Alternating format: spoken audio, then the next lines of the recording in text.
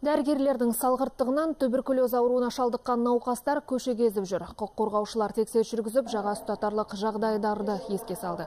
Тексеріс нәтижесінде осында 1028 дерек анықталған. Соның ішіндегі 327 адам емделудің орнында көшеде емін еркін жүрген. 259 науқас ауруханаға қайтарылды. Қазір денсаулық сақтау және әлеуметтік даму министрлігі ескертулерге қатысты тиісті шаралар қабылдауда. Статистикаға үңілсек, соңғы 10 жыл ішінде елімізде туберкулезбен ауыратын адамдар саны 55 пайызға азайды